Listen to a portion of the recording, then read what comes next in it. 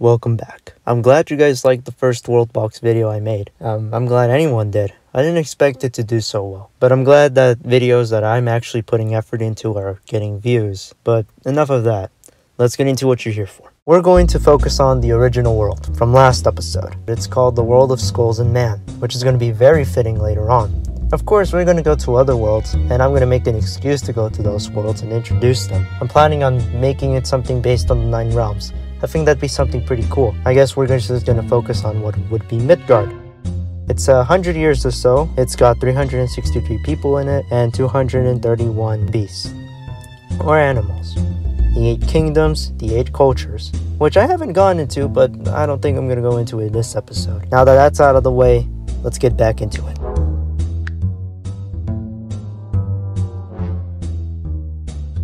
Alright, we're back where we left off. The Great Meona made it to the mainland. There's the realm of Shamari. They're struggling with the Rhino-Human War at the moment. Over there are the orcs. They haven't done anything special yet. And there's the dwarfs over here, which haven't done anything special either. They built the first boat though. There's the little colony from Great Meona. Let's hope it doesn't end up like the Rona colony in the real world. It's starting pretty small, but that's how we all expected it would be. We have the king of the human kingdom, the current king, He's a Baku. I hope he's as good as DY. I highly doubt it. The humans are in control of the northern territory. The rhinos could start moving up, but they're going to stick with their southern territory. Their general is Sapiti. I call her the general because she has the most kills, and she's the one who impressed me the most, and we saw her mass murdering a bunch of citizens too, on screen. While we wait for Sapiti and Ibaku to make a move, we have the colony of the Great Meona. Iari. It's about six people right now, and it's on the coast of the Crystal Biome. I'm sure they can find a bunch of minerals. Not sure about the food, but it's World Box. The Great Aura has taken notice of this. I mean, how could they possibly haven't? I'm sure they have the docks, but they need the boats, and they're taking notes, I'm sure. I'm changing it to city view from now on, because the kingdom view can only do so much. It doesn't display the borders. However, over here, it's not much of a problem with the humans. The animals don't have cities or kingdoms. though It would be interesting if the beasts could do something like that. Anyone can tell that they have control of the plains, and the ruins of the previous cities that the realm of Shamari has been trying to establish. So I can confirm that the Great Ora has the docks, but I don't think they have the boats. They definitely don't have the boats. And oh, uh, Nen died. No, Nen's some guy who killed an important rhino, but we didn't see that on screen, unfortunately and the Great Ora is getting on their way. They have built the Lure 10, their first boat for expeditions, I suppose, colonization. They have three people over there. The colony is done. The colony is called Done. Okay. So they settled on the lemon biome, and I'm definitely going to fix this little thing with the biomes going on. I don't want that to happen yet. So, canonically speaking, the lemon biome was not overtaken by the crystal biome. I guess that's just vegetation rules. But I don't want that to happen yet. That will happen eventually, but not now. Even though the Great Aura came in second, I think they got the better biome, since not everything is made out of crystal there, and they're continuing their colonization. Now I, they're going further south. I'm not sure if it's going to drop anyone off. Definitely not on that island. And yeah, they dropped someone off. They dropped three people off, but they seem to be traveling now north. So they're sticking to the lemon biome. I don't know if I'd call lemon a good food source, but uh, def they definitely have the better soil down there. The undead sailors make a return. With the raids that failed so horribly, they escaped over here. And they're gonna give the elves problems. Remember that there's only like 6 elves down here. And there's only like 12 skeletons down here. I don't know. That's an uneducated guess. And a special guest appearance from Muspelheim, Evil Asthma. He has come here to this world to wreak havoc, and I don't think he's going to wreak much havoc at all. But I'm going to keep tabs on him. Forget about it, guys. He got completely demolished. I was looking for the undead sailors, and then I received the notification on the left that's saying he already died six minutes into his entrance. How is that even possible? His killer is Isionic, one of the cold ones. They remind me a lot of the Hellwalkers from God of War, but if you guys have a better name, feel free to comment down below. By the way, a random frog spawned on top of here. I I have no idea how he got here. I have no idea why he would spawn here. And I did not place him. That I can confirm. This was completely random. So he's a primordial frog from long ago. His name is Jinping, and he's going to have some of the best abilities in the game. Jinping is a mythical magical frog. He is blessed with primordial powers and blessed with the powers of the Loveland Frog from Ohio. He is an absolute unit that other units pray to. He'll have some plot relevance, I, I promise. I gave the colony some time to grow, a year or so, Dun has 13 people now and has more territory than Aari, but Aari has 21 people. Great Aurora has been the one that keeps sending more and more ships, but there hasn't been anything big yet. In the time lapse, you can see how the Dun colony gets bigger in both territory and population, while Aari stays more or less the same. Overall, Great Meona has more population than Great Aurora, but that doesn't mean Great Aurora is in a bad spot. They're actually pretty good, and they're already catching up. When the children grow up, they're either going to join the army or they're going to help the civilization advance even more. Moving on from this, we have the humans trying to rebuild the south. They established the city of I'm not going to pronounce that. It's it's their founder is Bessie. Eventually, I realized that the humans can't colonize because of the atrocity of a river that I made for them. Now I'm gonna have to fix it and blame it on erosion. And uh, Bessie is already dead. Just like every pioneer before her, she got completely owned by the rhinos. That, that well, at least someone's coming down here. Wait, what's going on?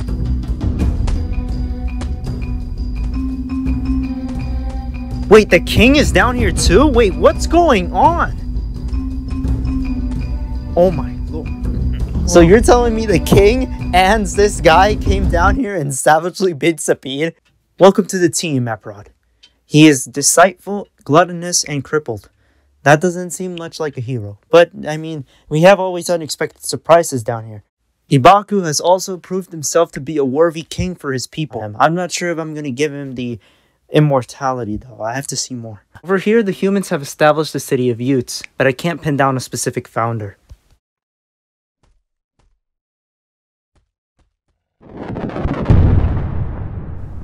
Oh, give me a break. What now? Oh, thank God. It didn't hit anyone. That was close. The Great Aurora decided that it would be a good idea to place their colony right next to Aari. Their Dun colony doesn't seem to be doing so well since it lowered in population, but some of them might have gone to Aura. The Great Meona didn't have a reason to start a war yet. They definitely have one now, because the Great Aurora's colony is directly interfering with their expansion to the west. People of Great Meona have been under the belief that it is their god-given right to continue to expand westward, and they saw it first. Going back on what we've seen, the Great Aurora has gone from completely irrelevant to about as equal to the Great Meona, and now they're a considerable threat to the Great Meona and potentially the rest of the world. In response to this, the Great Meona decided to establish a colony further south, known as Omhel. Una is the official founder of the colony. He also teamed up with the natives, this one's called Lo They came out of hiding after the attacks of the undead sailors on their land. As you know, they traveled down here from their previous raid, and they still seem to be causing problems for the elves. The rhinos, of course, did notice the new city that the humans were building and are now staging their attack that they were considerably planning. Being populated by only citizens and children, it is an easy target for the rhinos. Over here, we have one going against a woman. Oh no, there's already a- oh Christ. So they're teaming up on them. But over here you can see the difference in strength. One rhino is already way too much for two citizens to take on and they don't seem to be doing any damage to him at all.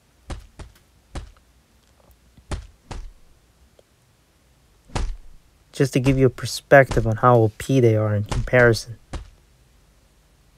This rhino's name is Meggy, and she seems to be taking over Sapidi's role as the general. What's shocking is that Ibaku didn't call the army to go in at all. Instead, it was all down to Aparod. He was going right in with no hesitation, and he was going alone as well. However, by the time he got there, Utes was only down to one person, and he decided to move on. The last remaining member of Utes was a child named Map, who stood no chance against the rhinos and was completely brutalized. But this story was far from over. Aprod was going to take revenge for the city that was destroyed and avenge all the previous founders.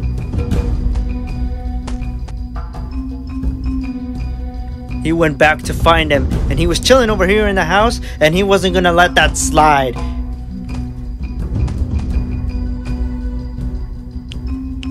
Aprod could also call the healing of the gods on command, but it also affected the rhinos, just to keep it fair.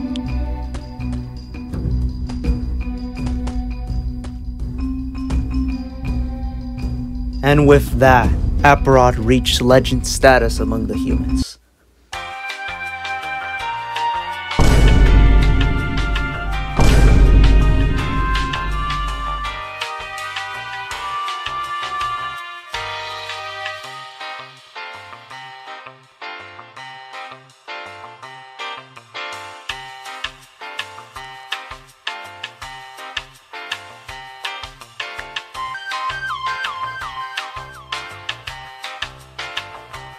The city of Gashio.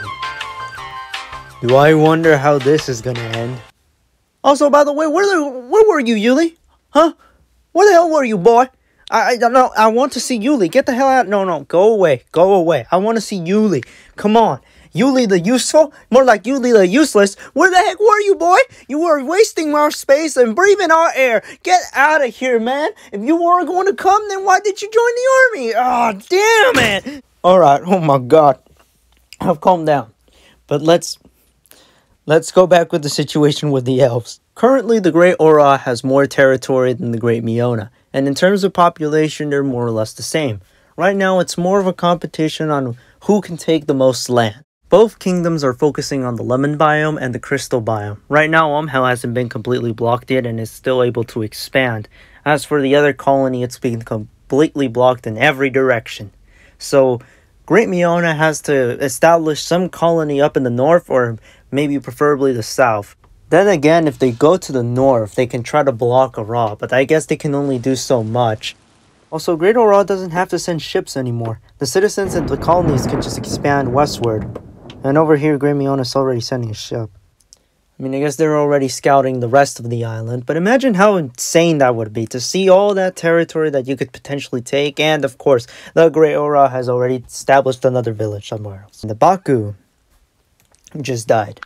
I'd be sadder, but this is the same guy who ignored to send the army. He had his moment though, so remember that. Keep that in mind. Seems like they decided to move the port away from the river and decided to establish it over at the coast instead. Over down in the south, the war is going to rage on now that the rhinos have stepped into the village yet again. And they're completely destroying the humans left and right, just as always. I can see that it's going to go down exactly the same way. But I wanted to make it a little bit more exciting. So we all know that the rhino's a lethal animal, like no kidding. And he dominates the humans in every single way possible. But let's say another savanna creature tried to see if he can do anything about it. Let's say the hyenas who were living up in the coast and were hiding away from the humans and the rhinos who destroyed them already. So they're going to try to see if they can reap some territory in the middle of the conflict since they're so since the humans are so focused on fighting the rhinos and not them.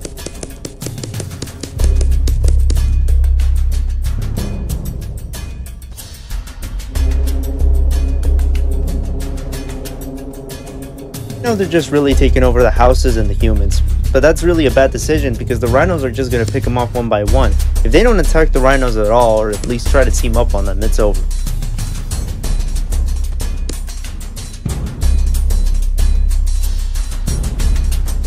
This has to be the most chaotic fight I've ever seen.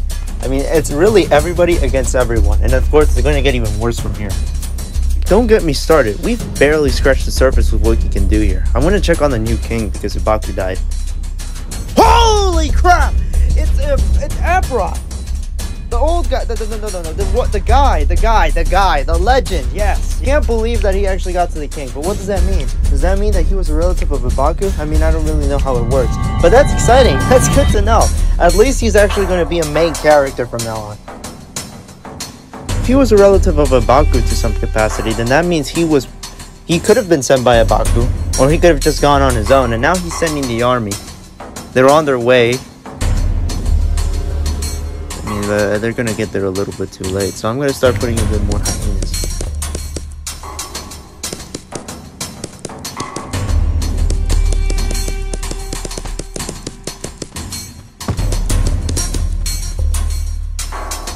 Well, that's really anticlimactic. I, I really expected some big battle to happen or something, but they're not doing anything about it. It's really just a, it's the citizens against the rhinos. The army really barely does anything.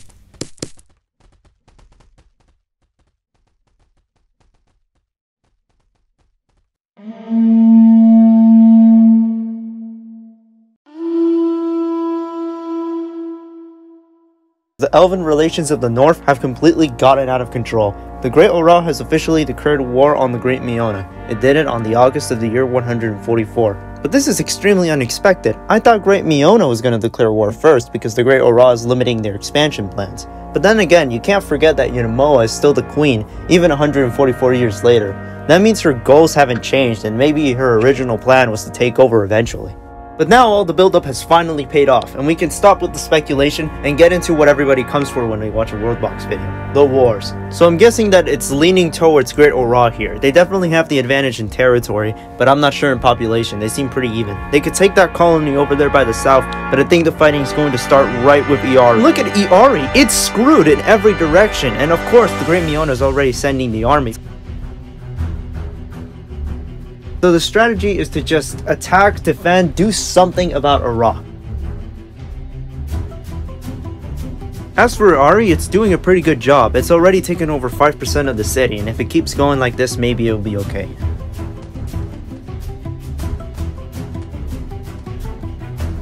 Alright, forget about it. The Great Meona's attack failed miserably. Great Ora was able to defend because they had a good amount of the army over here. And Una, one of the founders of the other colonies, is already dead. People are dropping like flies. Oh, and the city, a human city actually, not with the, not concerned with the war. It's already down. It went just as I expected. Alright, I'm checking up on her. She seems to be a member of the army. But looking at the army of the Grey Ora, you can tell which kingdom was planning this. They already took over Amhel.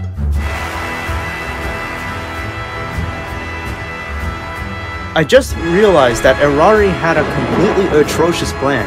They sent all of the adults, and I'm guessing the entire army of the city, and left all the children to try to fend for themselves, because I don't see any adults anywhere, I just see the children, and they're getting completely owned by the army of the Great Ora. My god,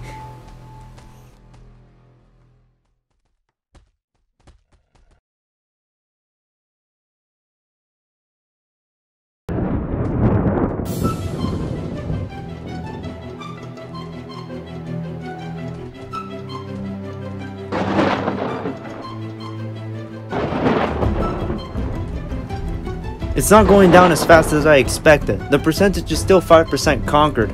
There's only children and there's only that one warrior and he's already taken down.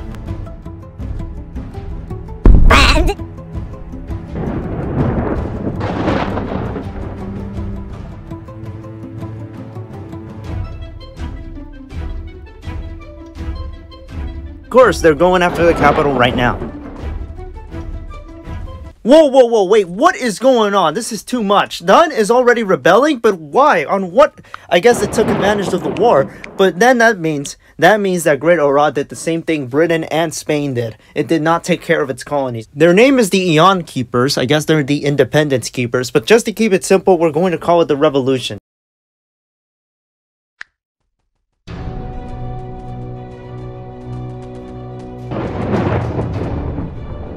I found the leader. His name is Araore. He's the leader of the revolution. But I have no idea. He just kind of like walked in. I'm guessing he's like a founding father of there.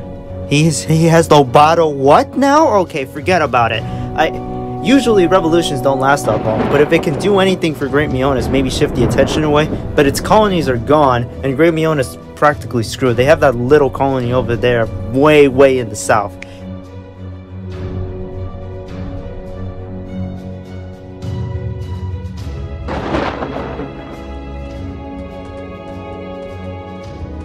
It doesn't seem to be looking so well, but I mean, I guess he's doing a good job at defending it.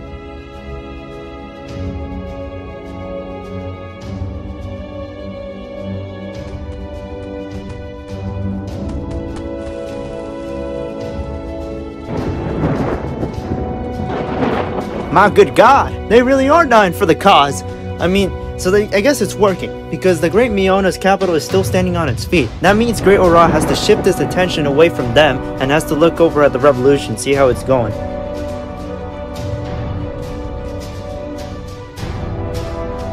Oh my god, I just had to say it, didn't I? I just have to I just had to say it. Yeah, there you go. They're gone. The revolution is practically over. I mean, they just have to take over that little city and they haven't from both sides. There's no hope for the revolution. It's just a matter of time.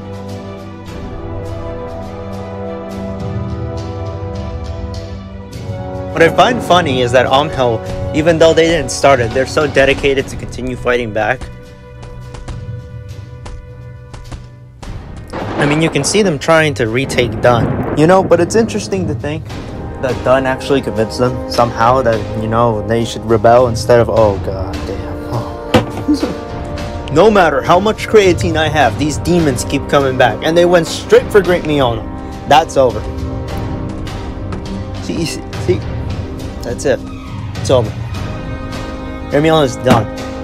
That is the conclusion to the war. Great Ora, this is not a victory for them. I mean, the river's the only thing protecting them, and I guess Niamoa could put up a good fight, but that's it. Okay, maybe they did, but they're going to take down the revolution for sure. The king is gone. This general, no, no, no, this member of the army already took it down.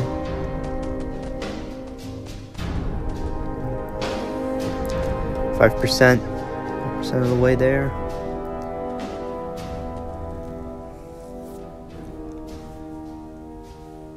Alright, it's a matter of time and Meona's in shambles. The capital's in shambles. Forget about it. Yeah, there you go. The percentage is rising. 32, 43, 40, no, no, no, 50, 50, 60, 60, yeah. There we go. The revolution has been stopped completely. And uh, there's still one person left from Great Meona.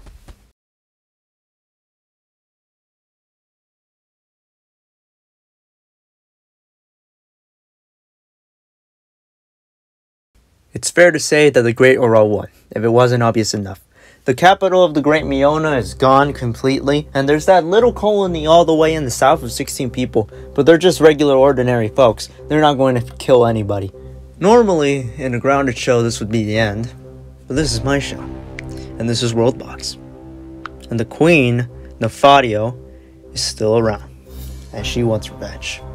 Originally, she was just a citizen, sent out to scout for another colony so that the Great Meona could try to flank the Great Ora. So originally, Great Meona was going to prepare a counterattack, but then the demons came in and they ruined absolutely everything and changed the course of history.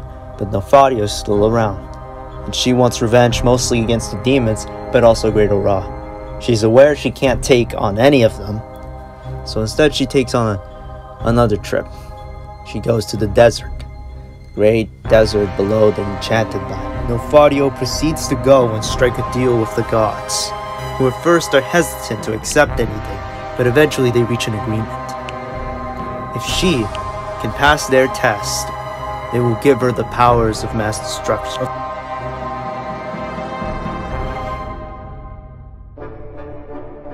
In the upcoming episodes, we'll see the journey of Nefadio the journey that she will take, and how it will affect the rest of the world. In the next few episodes, and yes, the next few episodes, you're going to see the struggle of the colonies in its entirety. It's not exactly going to be a simple 1v1, and there's a bunch of creatures running around, so there's bound to be chaos. But that's what you're here for. As for the other kingdoms, they need to get a move on. Because as far as we've seen, the elves are clearly dominating. And if it keeps going like this, their numbers are going to go up, Maybe the war might slow them down. They're going to be the only ones left. Until next time.